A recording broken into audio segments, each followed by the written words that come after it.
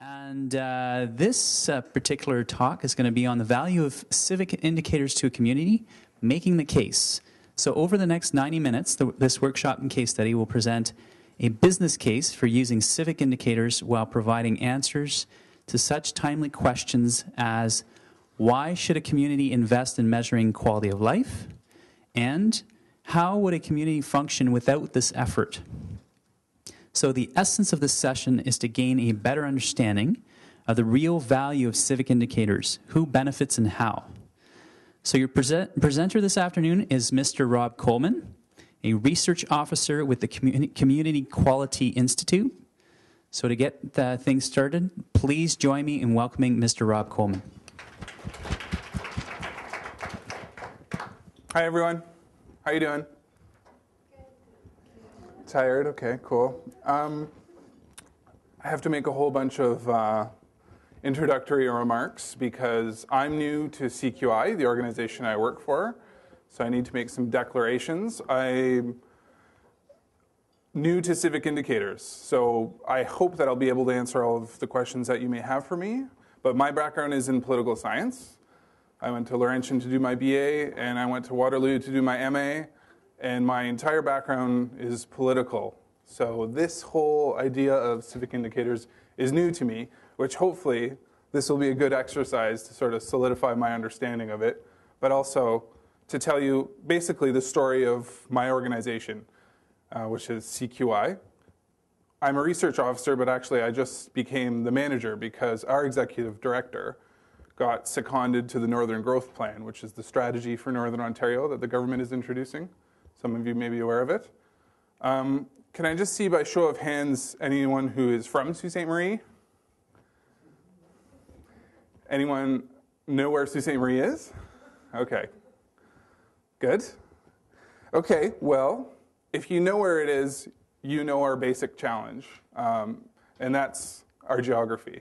Because we're basically, for those of you who don't know, we're, I guess, we're just west of Sudbury and the last city before Thunder Bay in northern Ontario, which um, is easy to say, but we're actually three and a half hours from Sudbury and another eight to Thunder Bay. And that's all just in northern Ontario. So geography is our big challenge. So when we talk about quality of life, you'll hear me, you'll hear me say things about geography often. So thank you, first of all, for coming uh, and listening to me. Number, uh, yeah, my second sort of caveat is that I'm not a business person. Sorry if I'm in the way. Um, so this isn't really a business case at all. Am I like right in the way? Um, but you'll see, you'll see why I call it a business case. Um, because we are a, a research organization funded by a municipality who is, you know, a bunch of city councilors who think a certain way. So we've had to make the business case for quality of life. So that's kind of interesting. I'm going to apologize in, in, advance too for my PowerPoint skills. So the, my organization that I belong to is called CQI, Community Quality Institute. Okay, so that's us. But I'm sure you guys are aware of the term CQI, as in continuous quality improvement. Those are two different things and I'll probably confuse them a lot. Um, but this is something that we do. We're interested in the process of CQI. But keep in mind that I'm from the organization Community Quality Institute. Okay, so what are we? What do we do? All that kind of stuff. So, Sault Ste. Marie, Ontario. We were created out of um, a municipal uh, engagement process with the community called BEC. It was, it was uh, becoming an extraordinary community. That's way before my time. But what they said basically is that they want to engage the community to develop our community. And they want to make decisions based on evidence and based on the data that they had available to them. So, out of that BEC process, becoming an extraordinary community, um, CQI was developed. So originally, we were just a department in the municipality of Sault Ste. Marie. So I wrote this uh, thinking that you guys would be municipality people. So we originally started as um, a municipal organization, and we still are, but we've since moved because there was a lot of potential for partnerships with Sault College, um, which is the local college, and, and the university, but we, we share resources with Sault College in terms of the research we do and stuff. The main thing that we're responsible for doing is publishing the community performance report. So this is where the civic indicators come to play. It's basically a report on how our community is doing, on the, the quality of life in Sault Ste. Marie. So that's kind of interesting. Okay, so we do two things. We do the report, but we also do training. Because we're in Sault Ste. Marie, it's very difficult to have access to quality training on CQI methods. So things like um, you know, quality assurance programs and outcome measurement and um, all, all, those kind of things that you probably have easy access to here, we don't. So we have to bring people in here, like we bring people from NQI and StatsCan. For example, I just had a StatsCan guy come in. We get all different people from different organizations, the municipality, private industry, um, you know, people from the colleges and stuff and he'll do a presentation on how to use StatsCan data. So we do, on one side, reporting, on the other side, training. So StatsCan is nice because it's free. They don't charge us anything for the trainer to come up and give workshops on how to use their data. Um, but for more advanced things, there is a cost involved. And so what we do is we pool our resources together. We pool private industry and social services, and we offer the training. So it's affordable, and we can pay for them to come to Sault Marie. Okay, so we're a research organization funded by the city. So if you know about municipalities in Northern Ontario, you know that that's kind of amazing because the budgets are small and you really have to make the case um, to, to be funded by a municipality. There's a lot of demands and not a lot of money. We do have other, we have membership as well. We do research to try and help with costs. We do research about Northern Ontario and we do research for other associations in my community. Okay, and how do we how do we do um, the community performance report? Is by task forces, and this is um, something I'll talk about a little bit about later. So what we do is we go out and meet with people in the different sectors. It's uh, this is part of our engagement process. So if we want to write a community, community, sorry, community performance report about, say, one section's on the economy, well, we meet with the Economic Development Corporation and we meet with the major economic drivers like Essar Steel, for example, a big steel company in Sault Ste. Marie. So we have people from all these different sectors to come and talk to us. And that's how we write each section of the report.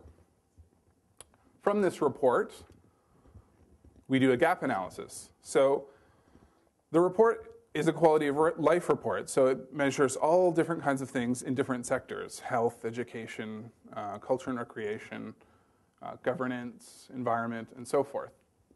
So we meet with a lot of different people, and it's only a staff of two. I'm one of them, and I'm here. So it's difficult, but this is what we do. I'll get to gap analysis later. Okay, this is uh, an anecdote from my thesis advisor who said, Presentations are not good mystery novels, so get to the point right away. So I'm going to do that. So this is the argument for civic indicators in four easy steps. Basically, and this is how we made our, our argument. Communities are in competition with each other, especially in the north. We need people. And every, all these little northern cities need people, but you know, even huge, huge cities need people. That's fine. It's not just about the jobs, too. People are interested in quality of life if we measure it, this is quality of life, we can improve it. That's another argument that we're making. You can accept or reject it.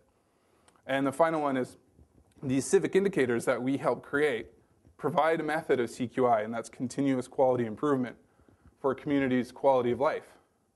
So those, those are the four points that really solidify how we made our case to the municipality that measuring quality of life is actually worth it for them. Because one of the biggest problems in Sault Ste. Marie is attracting highly skilled, qualified people.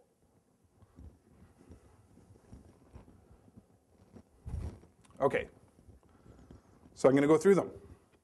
How do we make this argument to them? And the first, the first thing you always do is, you know, get out your StatsCan data and say, look at the trends, right? Canada is getting older.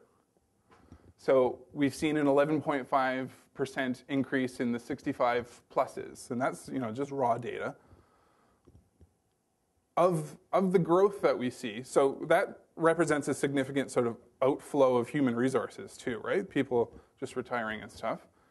Uh, and the growth rate for Canada, 5.2%, is interesting because two thirds of this comes from immigration. In the United States, though, 60% of their 5% growth comes from within.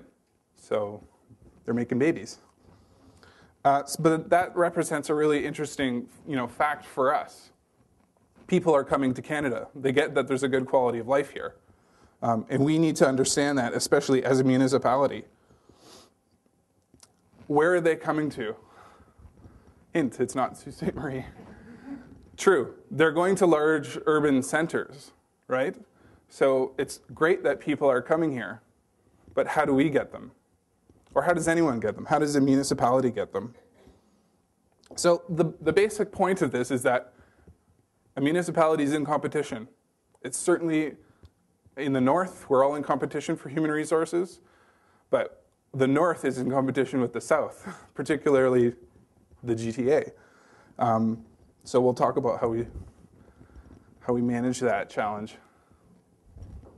Okay, so is, is it even okay to say a community is a business? This is how we've made the case, just, just to let, let you know, this is just sort of an exercise in thinking. And it's another way of us saying a community is holistic, like, like a business. Remember, we, we make our case to city councilors, so you have to know your audience. Um, so keep that in the back of your mind. Because for me, this is counterintuitive. A community is not like a business, it's something different. But we have to make our arguments. So we have our separated sectors economic, health, environment, the social services, education. And we understand them as the separate parts of a business. And I guess, you know, there's the corporate speak stuff like synergy and stuff like that. They all, they all have to work together. And that's, that's the case that we made to our municipality. So let's just see what the next slide is because I forget. Right. If we're selling quality of life, and the people are the customers, what is it that they're buying, I guess you could say. And so here we have some pretty basic points. They want a healthy environment. How do we measure it? Low crime, amount of violence, and so forth. They want access to natural spaces. We hope they do, because we have it in Sault Ste. Marie. Uh, but green is, is generally in. I don't need to tell you people. Um, positive social interaction. Now, this is something that's interesting among the sort of Richard Florida school. Um, they've done a lot to really talk about social interaction, which is a very difficult thing to try and um, capture in terms of making an indicator for how tolerant is your community. Sometimes you don't want to know. Um, opportunities for creative expression. That's another interesting thing. So, those are just some, some of the many, many points um, that we think of when we think of quality of life. And so, how do we develop these assets? And this is where the CQI comes in continuous quality improvement. So, we plan, we check, we do, all that kind of stuff. Okay, so Sault Ste. Marie is a steel town. Well, it was.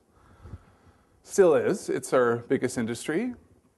So the, the idea of CQI or quality assurance, where you constantly check, that's sort of that's a done deal in manufacturing. Like the return on investment for a CQI program in manufacturing is self-evident. You know, you see your increased sales or you see reduced material or labor costs or whatever it is.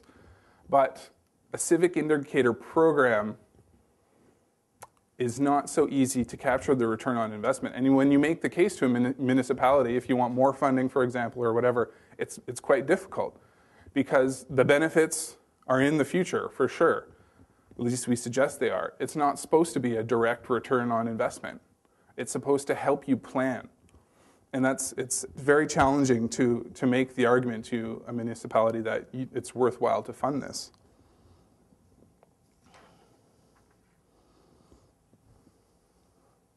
So, I mean, the point here is that the civic indicators are really just one piece of a community development process. And that's, that's what we try to sort of demonstrate to our municipality with some success. I have the funny thing here. So we are the check portion. If this is municipal planning, we hope that we're the check portion. Because what we do is provide data in the various sectors that they create policy for. Um, we, we hope, we just, we met with the city not, not too long ago to say, you know, how often does our report come into your planning process? Like, are you using this? Some people do. Some people have read it, which was great. Some people um, read the section that pertains to the planning process that they're engaged in, and some people hadn't heard of it. These are councilors. So, I mean, that, that represents the, the problem both for us in terms of how we can communicate our data better and how we can engage um, municipal government better. And it's, it's, it's a challenge. So, this is also why I'm here because I want to sort of engage you, you guys in helping us come, up, come up with better ways of, of doing this. So if you have any comments, I would definitely like to hear them. Okay, so of the business case, the modern world is mobile, and people are coming here. It's not just about the jobs, they want a high quality of life we are definitely in fierce competition for human resources. We, as in the municipalities, and our civic indicators measure and help improve the quality of life. Okay, so that was the case that we made. Now I just want to tell you about sort of a little bit more about what we do in the Soo. Okay, so this is a typical Sault Ste. Marie shot a, a snowstorm, we get tons and tons of lake effect snow. We're in the middle of the Great Lakes, so we get dumped on. Uh, open spaces, and it's freezing cold, really cold. This is, I picked this picture on purpose because it's a great sort of perceptual representation of what a lot of people think of when they think of the Soo. This is a challenge. Okay, so here is the process that we undertake. I'll get, I'll get back to that perceptual problem. But here is the process that we undertake in terms of writing our community performance report. So these are the task forces that we set up. The SDOH is the social determinants of health. That's something we've introduced to try and help um, guide the task forces to creating indicators that get a really good grasp on uh, reality, I guess, um, which is an awful thing to say, but true nonetheless. So, because the, the interesting thing is, the task forces create the indicators for our report. We don't do it. I know that's, I know that's weird, but it's, it's relies on their data and their thinking, because this is, remember, first of all, a community engagement process. It's sort of their thinking that comes up with what do we need to measure? What does it tell us about Sault Ste. Marie? So we meet with all of them. They give us data, for, for example, and we do we publish it in a report. We do you know some analysis and so forth, and then from there we see where the gaps are. Well, hopefully the data reveals the gaps, and from the gap analysis, we create action plans, which we forward to the municipal government. We also do, um, if we identify a strange uh, gap, we'll do a smaller report, like we just did one on the external costs of poverty, uh, which is basically the thesis was if you don't if you don't fund I guess, the harm reduction side of poverty. If you don't fund it at its early stages, you end up paying for it anyways in different ways. So, healthcare costs, lost productivity, and so forth. So, that was just a, a small report that we saw that we had the data for and thought, why not? Why not do? So we partnered with the social services and released a, a small report, which was kind of cool. So it's a staff of two um, me and one other person who does most of the professional development stuff, so lots of the training. And then the community, of course, because each one of the task forces is made up of members, practitioners, just sometimes really interested activists um, who come in. The meetings are open to the public, and we talk about the quality of life indicators, uh, what they tell us about the quality of life in Sault Ste. Marie, and the gaps what we need to do. Okay. So,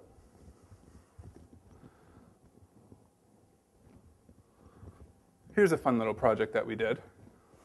We have to make the sell to people um, that Sault Ste. Marie has a great quality of life. One of the ways that we do that, we have to capitalize on what we're good at. You talk about housing costs.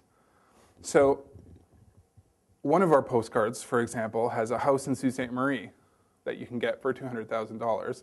And the, the really bad quality of this, you can't quite tell, but that's sort of like a little townhouse somewhere, I think in Brampton or something. So what this does is, is demonstrate one of our strengths, right? That's an affordable investment. This is a quality of life issue for some people. What does your money get you? So now this, this is um, one that often comes up. I think that's the 401. Or, or, anywhere down here, yeah, you're right. I don't know. But this is a very typical sort of picturesque Sault Ste. Marie pick. Um, so that's, that's another area that, so we, we took the quality of life data, and these are basically for the municipal, um, it's a municipal project to, uh, what is it? I can't remember what the project was called. Ah, physician recruitment, of course. We have trouble getting doctors. We try, we try to get doctors to come to Saint Marie. Uh, and one of the ways that we're trying to do that is to demonstrate the high quality of life. This is one of those ways. Okay. What else should I talk about? I do want to. I want a lot of time for questions. Um, just want to see what else I have. Okay, I'll tell you about where we are now. So the process is the community performance report process. I know it must be sound weird. Um, it's iterative, right? So each year we go through and we try and collect data so that we can see trends and identify things about our community. So where are we now? We're just at the stage because we just started doing this report for the last two years.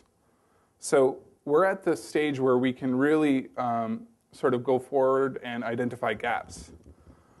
Because it's, it's not easy after just having one year of collected data uh, to see where you are in terms of quality of life for your community.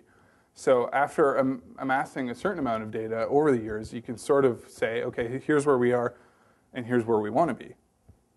One of the things we didn't want to do was um, always be comparing, because that's that's sort of um, a trend in, in in the research in the north. Like, get a, a whole bunch of small cities, like it'll be Sault Ste. Marie North Bay, Sault Ste. Marie Timmins, and then just measure everything and see how we compare we wanted just to focus on ourselves um, and say, you know, this is how we're doing. So now is the time where I hope I can make things a little clearer. If you have questions, I know that the process must be sound a little weird to you. So I'd like to open it up to questions. I was wondering what the split of your data is. Uh, like, how much is proprietary and you collect directly, and how much you source from other places, and then perhaps part of that answer uh, will answer this, my second question, which Okay. is your uh, budget on a in an average year. That's a good question. Uh, I'll answer the data question. Um, oh, we try and get it wherever we can. You know, that's another challenge of, uh, living in a community in the north. Like when I went to Waterloo, it was crazy easy um, to, to find really good data, or I had access to it as a student there. Finding really good data in the north is really hard. Finding research about Northern Ontario is very difficult. Um, so that's why we have the task forces. Basically, we ask them to come in with the data. Um, if it's something that they don't want to reveal, I know they they're in part uh, responsible for the data. Part of it, we have a community data plan where we all pool together and purchase um, like StatsCan data at a lower level that we can access. So most of it comes from if it's sort of statistics about education, the, someone from the school board will sit on our task force and provide that data to us. If it's something more difficult, we try and uh, we try and pay for it. Our budget's very small. The the process we meet monthly these task forces, and if there's changes, I mean they collect the data, right? So if there's changes, we record it, um, and if there's a gap that they want to identify, then we, we start changing. We start writing something different. Um, but yeah, it's monthly meetings. So you're having, it sounds like you're having great success in all task force bringing data forward. Is that, or are there some that don't? No. Uh, did it sound like there was great success? Okay. Well, let me talk about the problems then. The problems are that we rely on participation. Like, what a great idea, right? But um, I'll invite 20 people to a task force meeting, and if I get 10 to show up, that's amazing. You know, so it's it's important that uh, I have to constantly be out there, um, meeting with people, reminding them about um, the value of the work. Um, Participation is always a challenge for us. Uh, we try and come up with you know clever ways to engage people. It's difficult. Um, plus, you know, there's been a huge sort of like last year for sure. There was a, like a budget crunch, and people's time got really restricted in terms of like this is their work time too that they we meet during the day. So a lot of people's work time got restricted into extracurriculars, I guess you could call this, and and so that was a, it's become a challenge for us even still now, just engaging people for sure. I got two questions. The Sault Ste. Marie Innovation Center, Yes. which does all the mapping and does the community type questions, what relationship have you got with that? We're, they're our biggest partner. Yeah, because it's it's really impressive from an outsider to look at what Sault Ste. Marie has now been capable of doing, um, and the relationship that it then has with Nipissing that has spawned um, job creation and and some really innovative pieces. So that would be the question about the city and the relationship with the independent uh, Innovation Center, which I understood had been housed as a municipal initiative, but learned from that to become independent. Question number one. Okay. One, and then would be how is your approach different from the community observatory model? I'm not. You'd have to familiarize me with the community Um, observatory. Buffalo Community Observatory, the now the Niagara Community Observatory, they're research units um, that I think um, you know seek to to investigate local um, economic, environment, social uh, issues. Uh, well, I'm not qualified to answer that because I just don't know enough about that process. I'm intensely interested though because I'm I'm new at this, right? So I'm going to talk to you later for sure about that because I want to know more. Um, and my background isn't in this, right? So if you want to talk about politics, right on. But so that's my background. So coming to this is a little di- little difficult for me. Um, your first question about the innovation center, which I also can't speak about, but I'll you know with, with any authority, but it's, it's still municipally funded, but it's a technology incubation center. So as well as, you know, development. Um, so yeah, I, I know they do a lot in terms of helping with the, the data strategy and the maps. Like that's how we were able to access how far away bus stops were to events because they could do that. Yeah, definitely. So, Susan, one of the great things about the Soo is that it is so small. Like, I can get everyone from social services to come have a meeting with me because it's two people.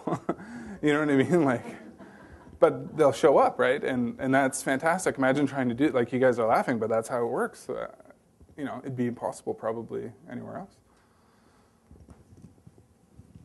You said earlier about uh, communities having to compete now for uh, people. Um, your data, do you compare it with other communities in Ontario or across Canada? Well, we stay away from that, as I said before.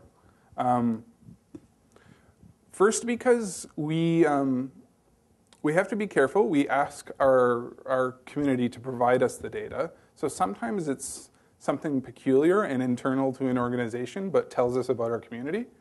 If it's like a big uh, industry and they're releasing information to us, um, it's also not something that would traditionally be compared. Uh, so there are those kind of concerns. But also, one of the things we do that is different, that's sort of an attempt at community engagement too, is we do what are called community cafes. So if we identify something like the last one we had was on water quality, for example. So in our environmental task force, we measure water quality, and it turns out, wow, this has great water quality.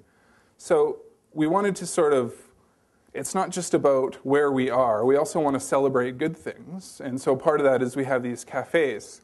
And we brought in a speaker. It was a speaker on the, a guy from Walkerton who talked about his experience going through that and how important it is to measure water quality.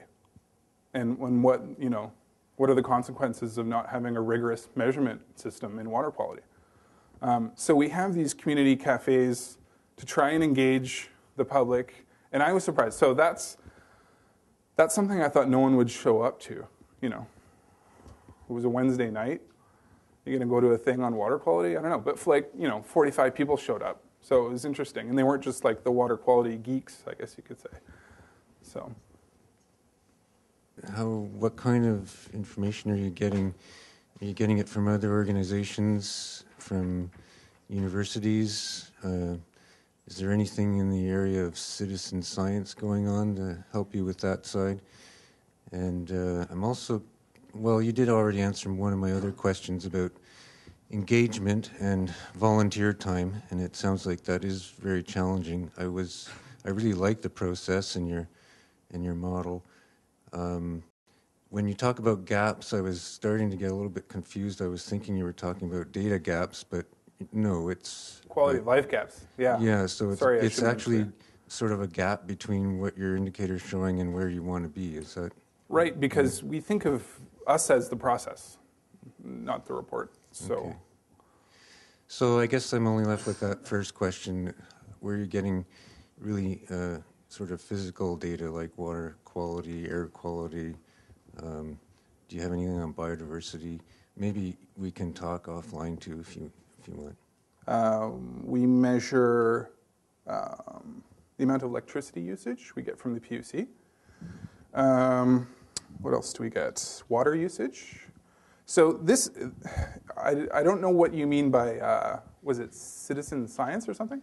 Oh, uh, that is where you have citizens uh, through, uh, there are programs that are out there, but uh, some have kind of petered away with lack of funding, but uh, where you have a group of maybe a school or a, a, community group go out and actually with test tubes and take measurement samples of water and take measurements and record them and put them down and do it regularly and end up, you know, monitoring a uh, a watershed or whatever. Right. Or uh, there's the Nature Watch program where people can track uh, frogs, earthworms, um, and then there's the very long-lasting uh, bird Christmas bird count kind of thing. Which, okay. So there's quite a few things out there that might give you some some background data or okay. baseline data. Yeah, I'm not I'm not aware of whether those exist. They, but I will say that our environmental task force has the most participation from just regular people. I guess I, I just remembered another question. Do you you mentioned a cafe, and do you, do you present your information? And maybe I'll, I just need to look at your report, but with charts and data tables and that kind of thing. Do you get that? Do people pick up on that, or is it Yeah. kind of going over people's heads? And that that was that was my I mentioned my first problem is how we communicate this data because um, the report has has like how else can you present it? You we have graphs, uh, we have tables of data. I mean, it's it's um, the community cafes are a way that we can pick up on one something that's interesting and make it public and make it more accessible, I guess, um, and and engaging. Uh, so we try and bring a speaker in who who's got something to do with it, right? Because you're right. Um, how many? Unless you're really interested, you're not going to read this report, you know, and it's just. I don't know how accessible it is. You'll have to be the judge. Have any programs, policies, services changed as a result? Well, the, bu- the bus routes changed, that's for sure. Um, now, that may seem insignificant, but um, I mean, we hope that this work identifies problems and helps the planning process for the municipality, right? And to that extent, it did. I mean, um, I'm also new, so I don't know what happened last year as a result of, of things. Um, so I can only speak to that specific example because I know there was an outcome. Uh, I'm not sure, but I know that part of my focus is really thinking of new ways to sort of communicate this to city councilors and, and make it uh, more of a useful document. Um, my question was related to that. Is there an overarching vision that is driving the process? So, just to follow up on your answer, is there a way or is there an attempt to integrate the visions from the seven different task forces and connect it to the decision makers, which in this case is council in part?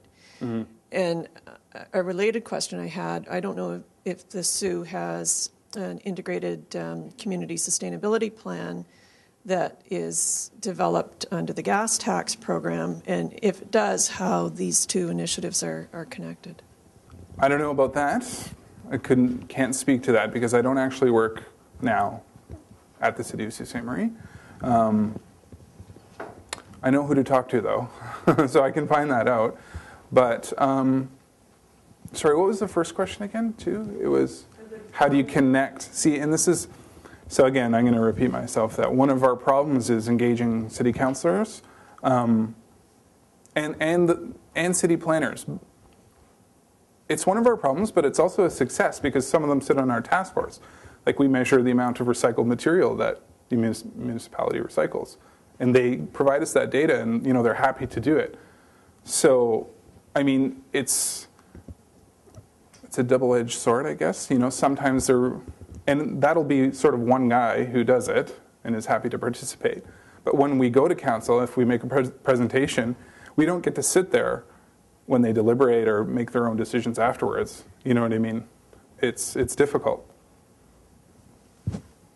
Um, you mentioned that your community task force or partners identify the gaps.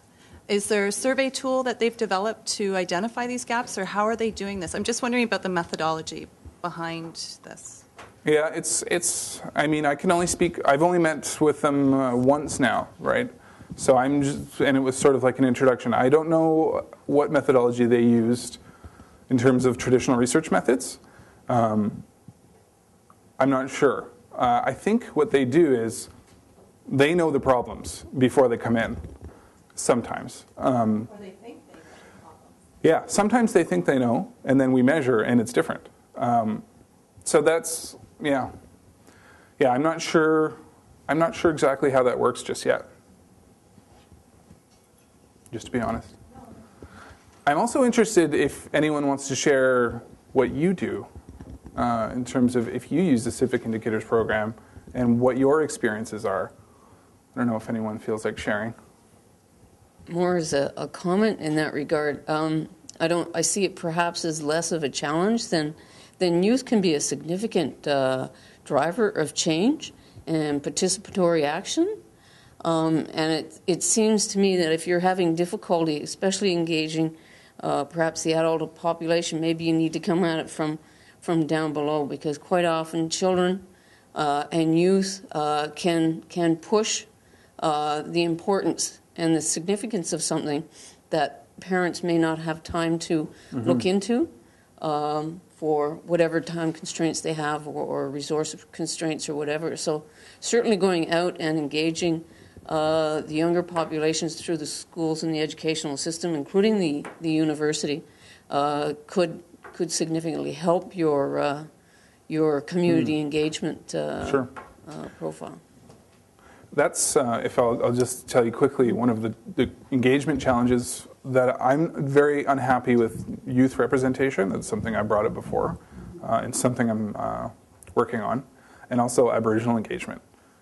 Uh, we have no Aboriginal people on any of our task forces, uh, and we've found it difficult to, you know, increase engagement. I mean, it's it's, it's a challenge for us. Yeah. Um, I, my name is Christine Morgan. I'm with Indian and Northern Affairs, so I can perhaps speak to that a little bit.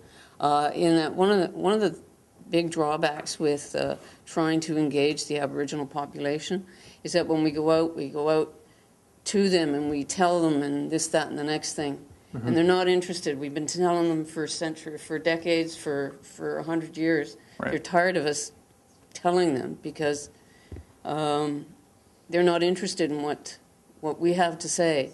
Right. They have more to say in terms of sustainable development and sustainability than than we can even imagine. So really, they want to be engaged, but you know, listening uh, capacity, and that we're listening to them. So approach is a very important uh, aspect in engaging the local uh, Aboriginal population. Well, I think I might need to talk to you later then. Sure. And kids as well. It, it, it the same oh yeah, thing. yeah. Well, there's a few of you I'd like to chat with after this is over, if you don't mind. Um, but other than that, thanks very much uh, for listening. And